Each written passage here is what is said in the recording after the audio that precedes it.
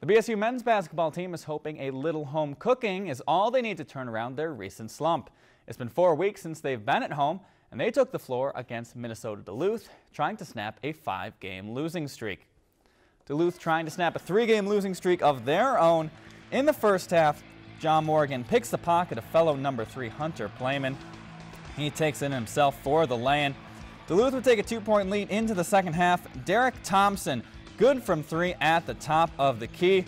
However, later, Thompson's passed. It gets picked by Brandon Meyer. He comes in with determination, slams it down. How's that for a poster? Duluth with a big second half. They win 72 to 57.